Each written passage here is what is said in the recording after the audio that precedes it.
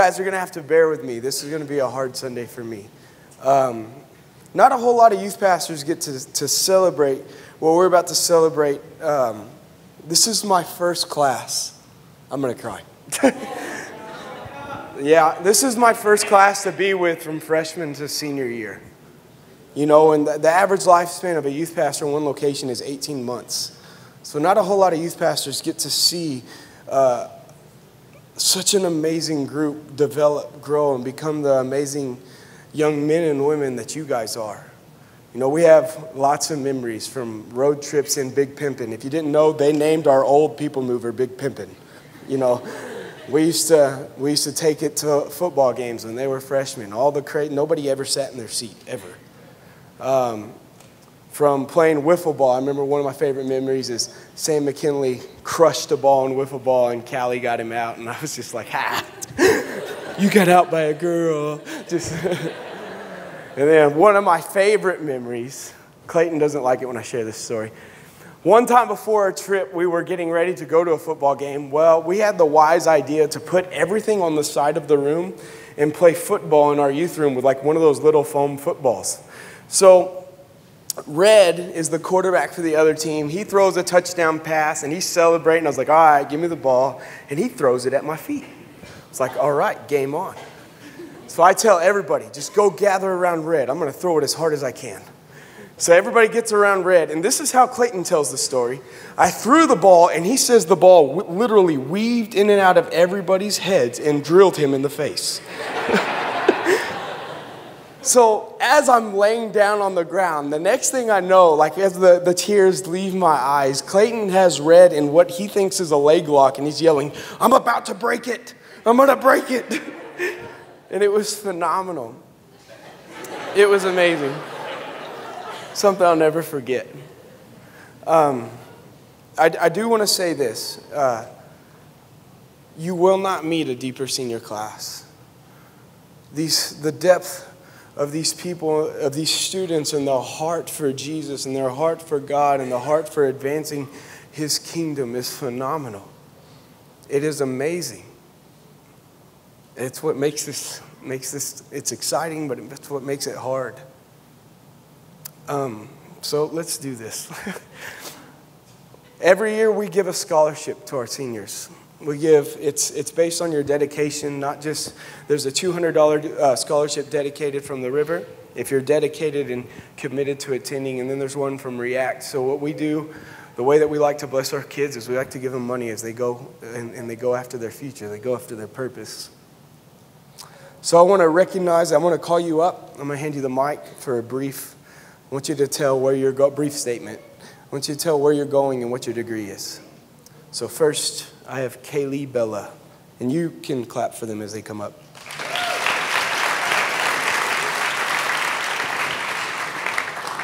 I plan to go to WT and hopefully major in nursing. Good stuff. Jack Cates. I feel like I'm handing you diploma. I plan to go to South Plains for two years and then become a physical therapist.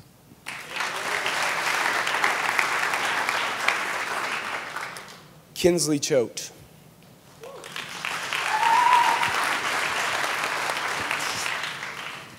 Uh, I'm going to Frank Phillips to play basketball, and I'm going to major in kinesiology. Abby Durham. Um, I'm going to go to Tarleton State, and I'm going to major in biomedical sciences. Kennedy Helfenbein. Did I say it right? Um, I'm going to go to Amarillo and attend Wade Gordon and do cosmetology. Callie James.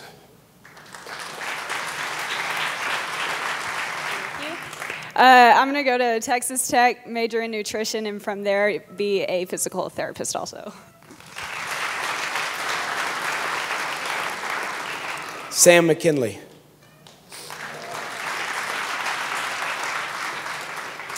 I plan to attend Mid American Nazarene and play football and uh, major in physical education.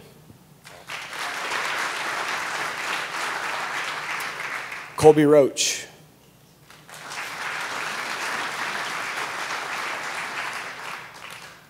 I plan to attend, attend WT and major in business management.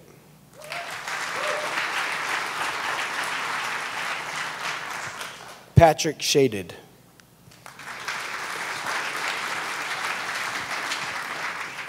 I plan on going to WT and majoring in business, business management also and minoring in computer science. Cami Witt.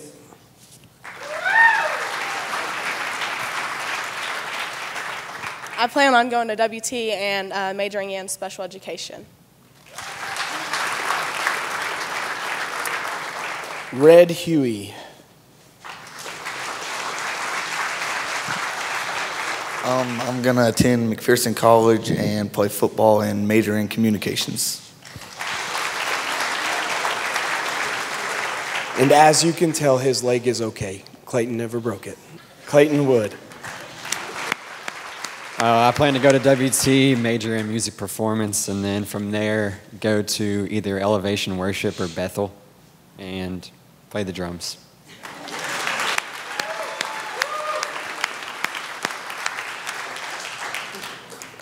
We have future doctors, future teachers, future world changers, cosmetologists, all, all the way around, businessmen. We have this, this, this class is going to reach the world. They're absolutely going to reach the world. So, in, in going after that, I want to ask that we extend our hand and we want to pray a blessing over you guys. As, as you guys, man, this, is, this may be the, the end to your high school chapter, but it's the launch into, the, into life. It's the launch into you going after your goals. And the, the enemy wants to take your dreams away, and don't let them. They're too precious. Way too precious. So if you guys will extend your hand, we'd love to pray a blessing over these guys. So, dear Heavenly Father, God, I thank you for each and every one of these students, God, and even the students that, that aren't here, God. And God, we just say, we say thank you for, for putting them in each and every one of our lives, God, because they each one of them bring a different aspect of life. They each bring a different aspect of joy, of creativity, of, of love, God, even love, God. So we say, that we, we ask that you that you make their steps firm god the bible says that for those who delight in the, the lord he'll make their steps firm. So we speak that over them. We speak that every dream that, that, that you give them that they accomplish that, the, that no dream is too big no task too hard but with, if you are with them nothing can oppose them. So, God, we launch them into the world. As you launch them into the world, and we, we partner with the fact that they're going to change it that they're going to reach the, the nation, that they're not just going to not just to reach specific areas. They, they, will, they will change the world. They will very literally change our nation. God, we thank you so much for them, for their hearts, for their passion, for their excitement. God, we give you all the honor and glory.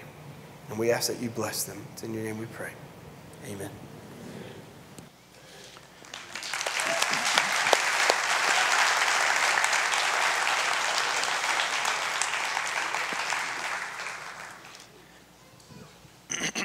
I, I uh, also have got to just watch you guys and just watch you grow and and uh, you were you were at the really weird stage whenever I got here. That really awkwardness. Some of you have left it and some of you haven't. I'll let you decide who that is.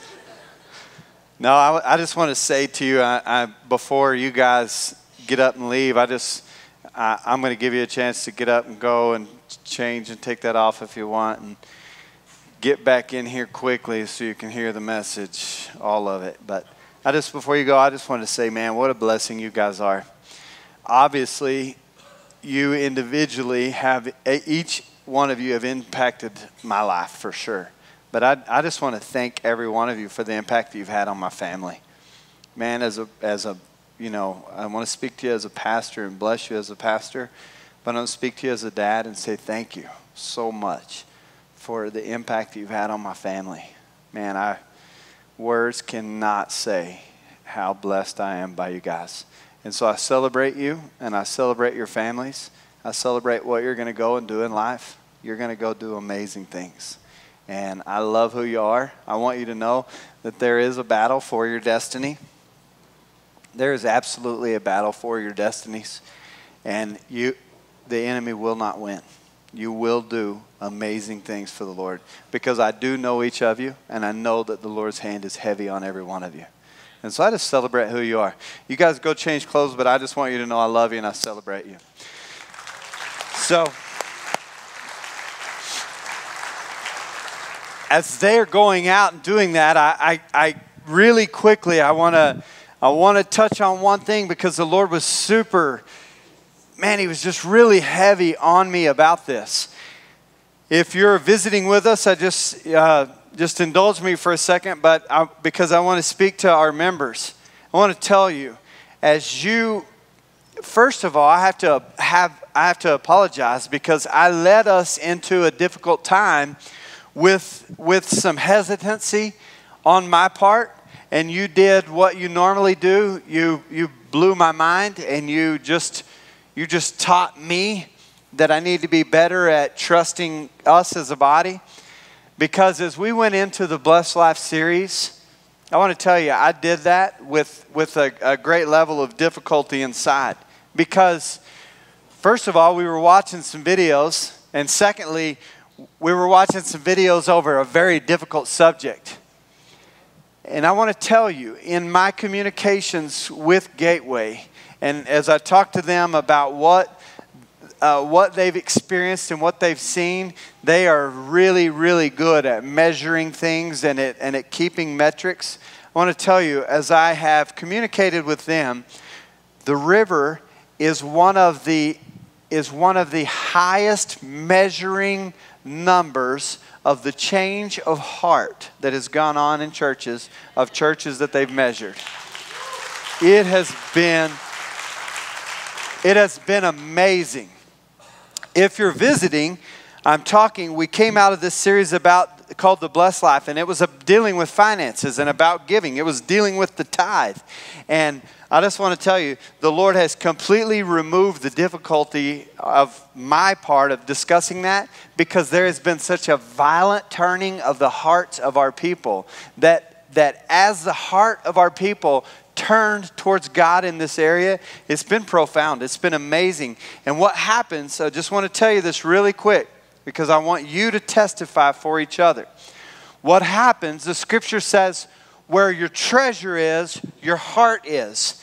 And whenever there is a turning of, you can't invest your treasure without investing your heart. When there is such a violent turning of the hearts of a body towards God, then what happens is, is we get to hold God to what He said. The Lord said, I didn't say it, the Lord did. He said, Test me in this and see if I will not. Listen, throw open the windows of heaven and pour out on you such a blessing that you won't even be able to contain it. I, I'm telling you, there has been a profound turning of the heart, and there is absolutely, so here's the prophetic word I want to speak to you as a body. There is a window of heaven opened up over you, and the Lord is pouring out blessings right now over this church in such a profound way, and I want to show you if you are here and you I'm not going to embarrass you, I'm going to embarrass you maybe a little, but I'm not going to make you say anything. But if you're here and you have experienced some of those blessings, you've seen the Lord do some, some amazing things over the last couple of weeks. We just started this, but if you're here and you've seen God open up the windows of heaven and you've seen some of these blessings poured out on you over the last several weeks, would you just testify by standing up? I want everybody around to be able to see who you are. I just want you to be able to see. Look at this. See the blessings that have been poured out. It is amazing. So, thank you guys very much for standing up. Listen, I'm telling you, the reason that I felt like the Lord was so clear to tell me to do that was because when you when you stand up and you testify the scripture says this in revelations when you testify about what jesus has done that is the spirit of prophecy. And what prophecy is is prophecy is a doorway. When you speak a prophetic word over someone which is what every one of you just did when you stood up prophecy, when you prophesy over someone, you paint a doorway of opportunity in front of that person, and then it becomes solely dependent upon the person that hears the prophetic word if they choose to step into that doorway of opportunity or not. What you just did was you prophesied about what the Lord is doing, how He is pouring out favor, because there is still people in the room that you are at difficult times, you are at desperate times, you need to trust the Lord too and walk into those places of prophetic words that those people just stood up and said because there is a window. There is a financial blessing that the Lord is pouring out over this body right now, and every single one of you have the opportunity and you need to participate in it. It's an amazing thing. I had a woman last week bring up a letter and she said, I just want you to read this. I opened it up and it was a letter from a hospital. She said, We had no idea that this was coming. She had a $26,000 bill from BSA Hospital, and this letter said, We have evaluated, blah, blah, blah. Your bill is paid 100%. She had a $26,000 bill that was just deleted last week.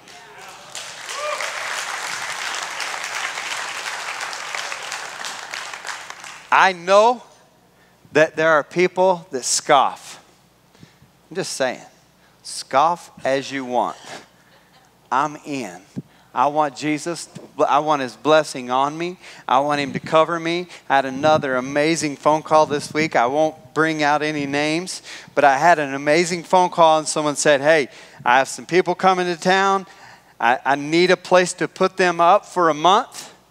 I need a place for them to stay because there's no hotel rooms uh, available for them to rent for a whole month. And so I need a, a nice place for them to stay. And by the way, I want to make sure wherever they stay, whoever the people that are going to put them up for the month, I want to make sure that they're tithers because I want the blessing of God on these people as they're in town too. I'm just telling you, that's an awesome testimony the Lord blesses that, and blessings follow that. And so I celebrate that. And that is just a beautiful testimony as to the heart of people and what God's doing. So I want to shift from that into where we are today. We're beginning this new series today called Live Life because that's what God has called us to do. He's called us not to exist in life, not to muddle through life, not to stumble through life, or to just to just ups and downs, good days, bad days. He's, that's not God's plan. His plan is for us to live life. And so here's the deal. We are supposed to dictate to life how things go, not have life dictate to us how things go. It's a drastic change. And the way we get into this change is by living life on purpose. So, I want to start out like this. If I were to ask you individually, one on one, what do you value the most? And and let's just say I asked you that question out of this room, because in this room we would say things like, Well, I value church, Pastor, or I value, you know, whatever. We'd come up with some cheesy religious line that didn't really have any weight to it. If I were to ask you, What do you value the most? I wonder what your answer would be. Some of you know the answer to that. Some of you like the answer to that, and some of you really don't. In fact, for some of you, it's a pretty difficult question because whether you know it or not, some of you are like, I'm not, I'm not sure I really even know what I value. You guys better listen because this is fixing to radically change in your life. You have valued up until this point what you were told to value. You're about to start finding out how to value things for yourself. And if you don't value things the right way, it's going to send you to a whole different place. A value system. If I were to ask you what you valued, I wonder what the answer would be. And then let me say this What if I were to take your family, your friends, those that are closest to you, and I were to pull them away from you and put them in a different room, and I were to ask your friends and your family, what do they, what does he or what does she, what do they really value the most? I wonder if the answer would be the same. I wonder if what you said you valued the most would be the same thing as what those around you said you value the most. Because the chances are, most of us don't have this value system lined out. Most of us don't value, or, or we think we value, or we say we value something, but reality is we don't value it what we say and what we do don't match up. So, our value system is what tells us what's important, but too often we don't know what that value system says. So, I want to do this for you. I want to put a definition of a value system up here. I want you to read this with me.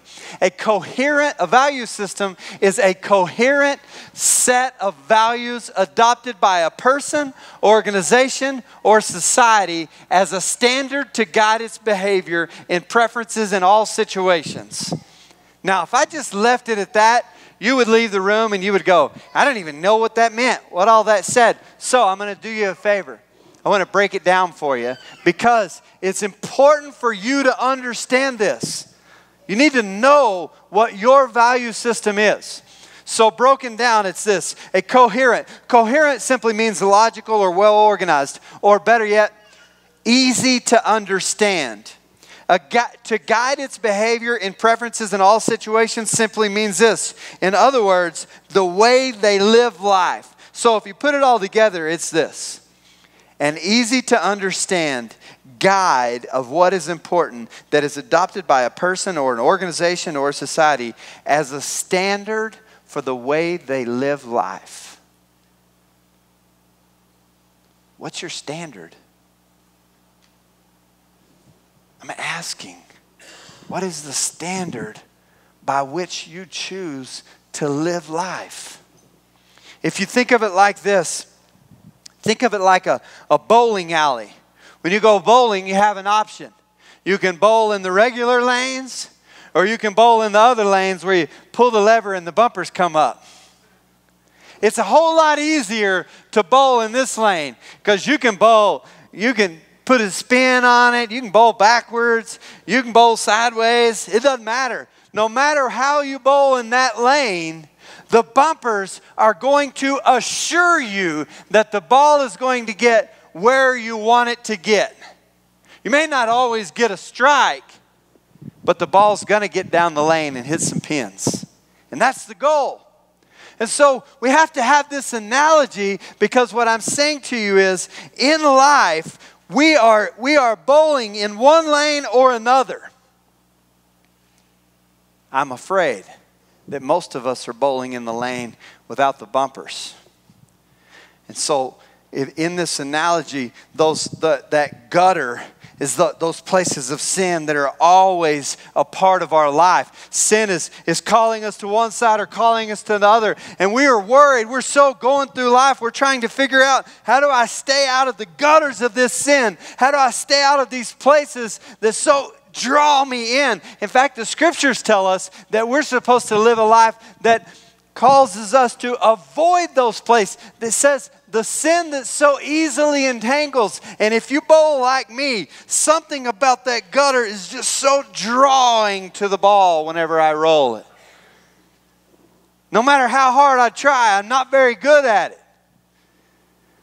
And some of you, most of you, would stand up and say the same thing about the way you live life. No matter how hard I try, I keep getting drawn back into this place.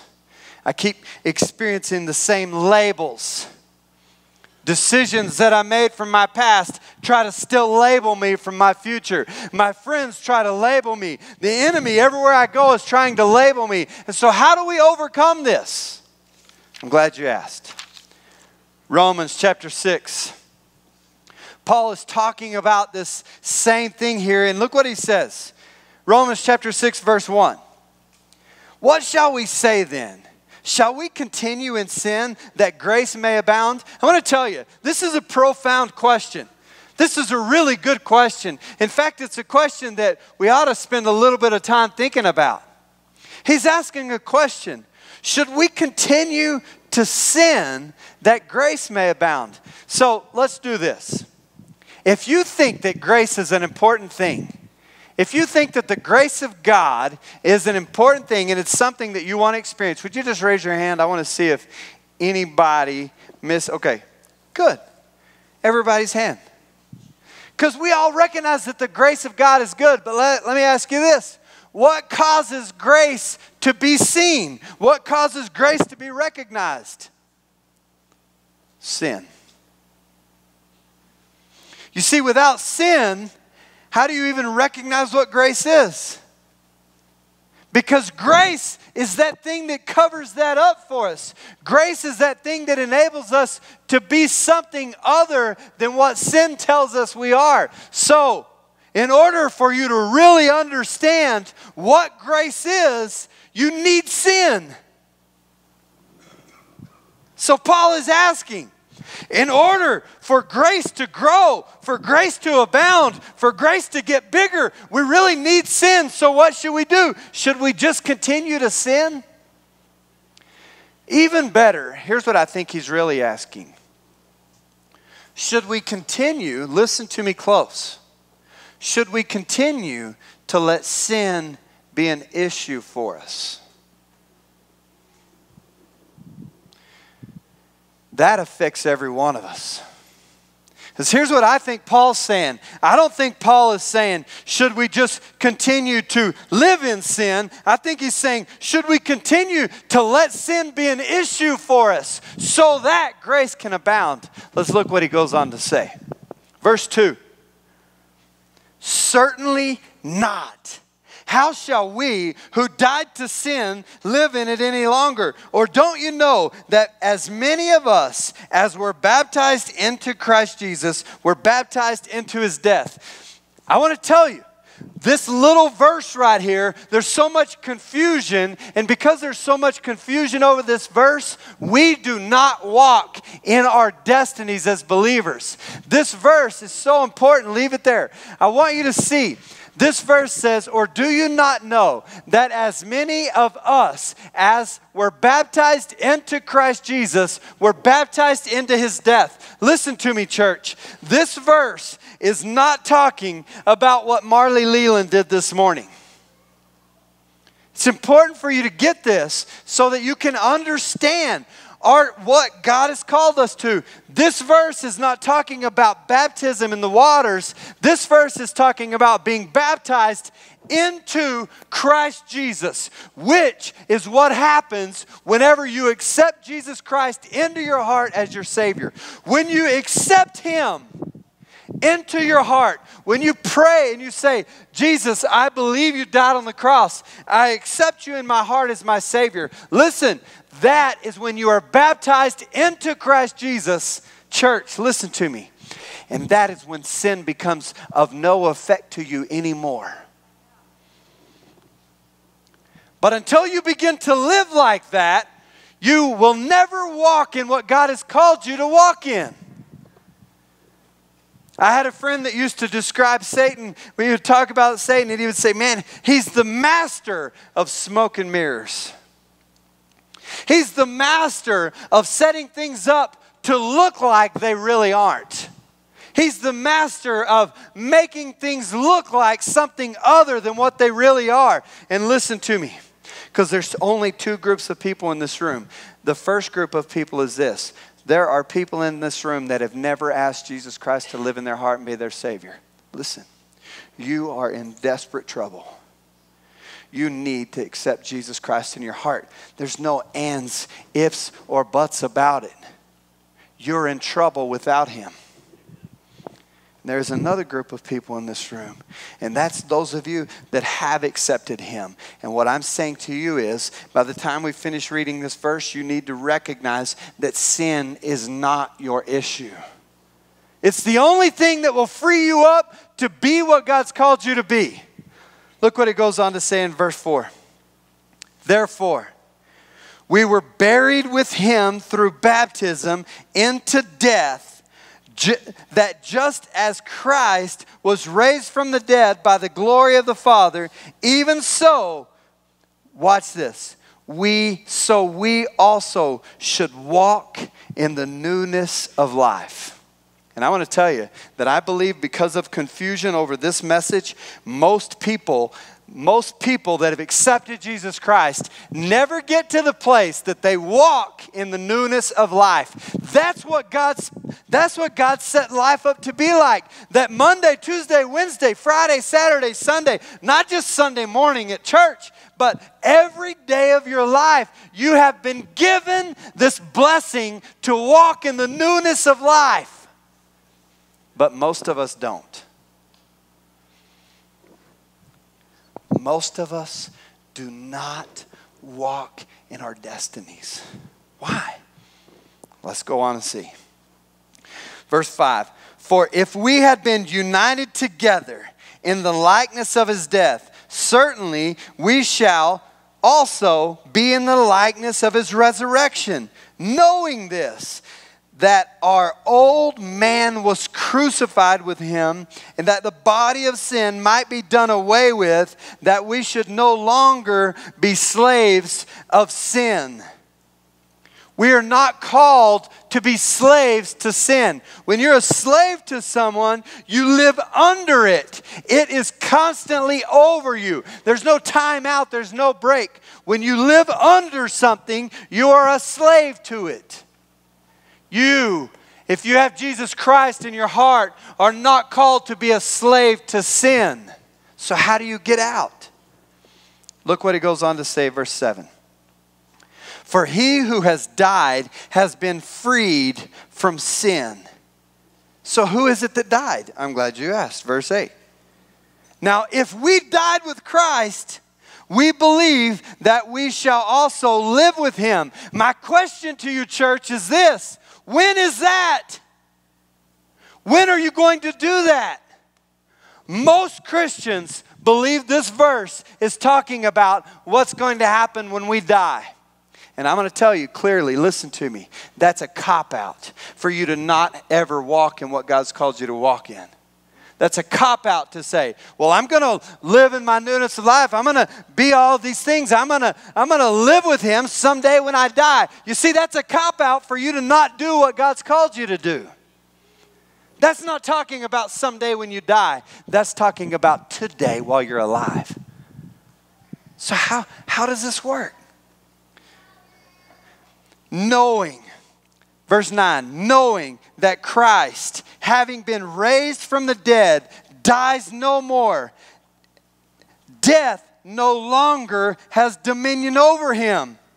For the death that he died, he died to sin once for all. But the life that he lives, he lives to God. Likewise, that means just like him. You and me are supposed to live like him. Likewise.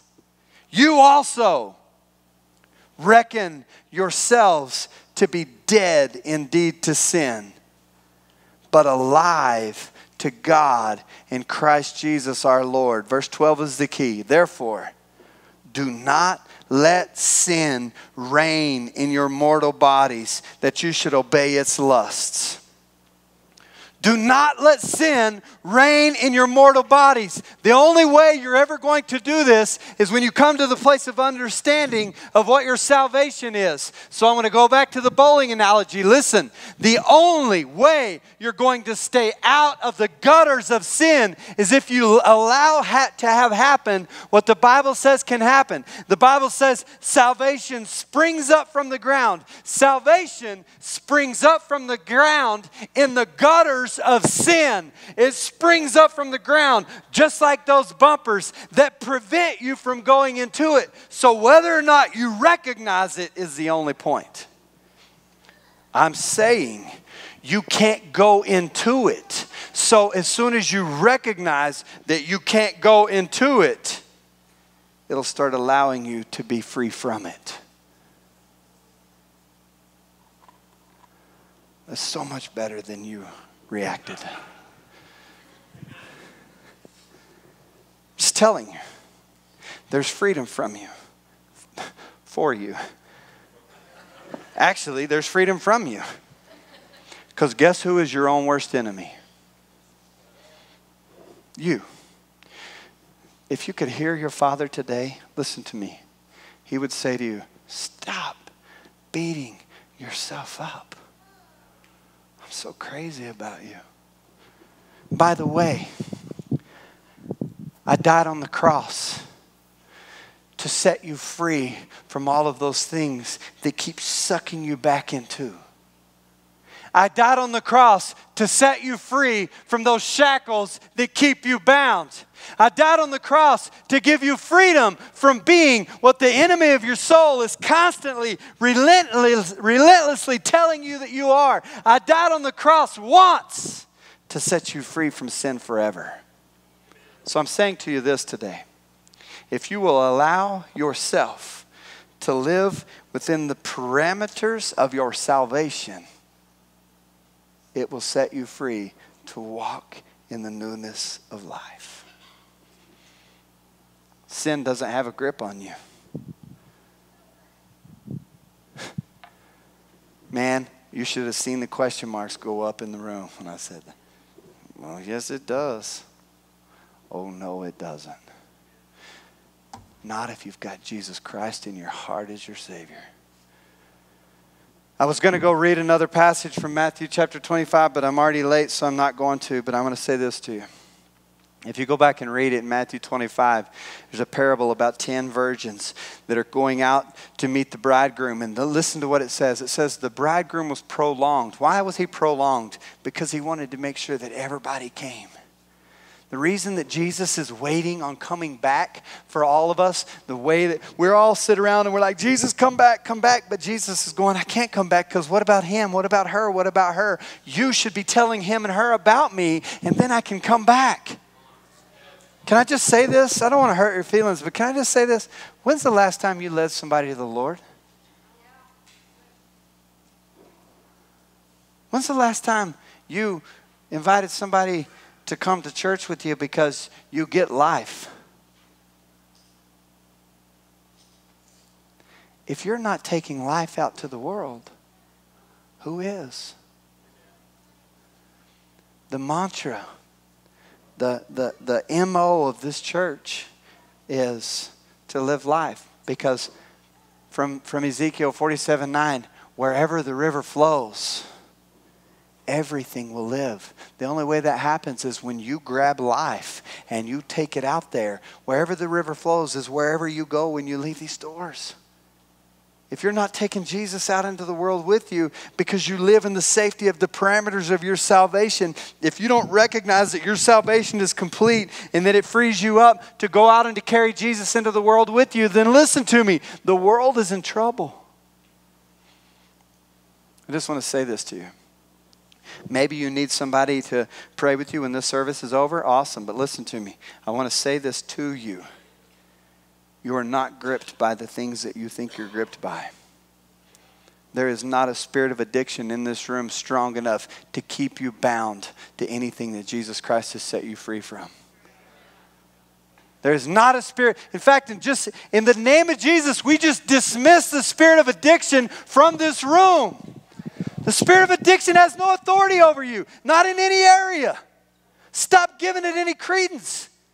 You don't have to live under that. That's not who you are. You are the righteousness of God. That's who you are. Let's pray together. Father, to live life is what we believe you've called us to do.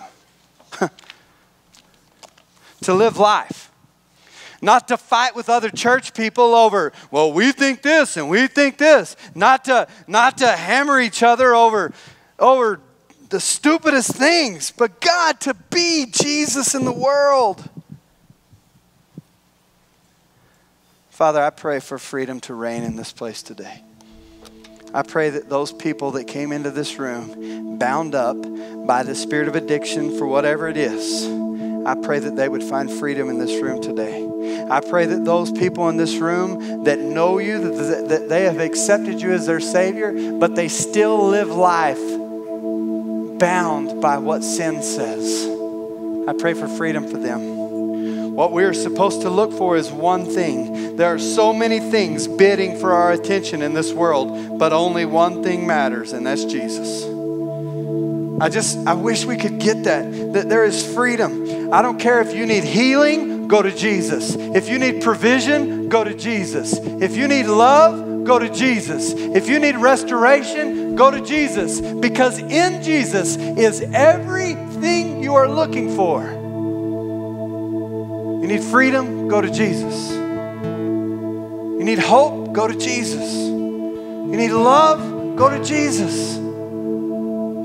You're not looking for your healing. You're not looking for death. You don't have to worry about death. You don't have to look for the end. You don't have to look for a greater president. You don't have to look for a better Congress. You don't have to look for the stock market to get better. Just look for Jesus. Father, come meet with us.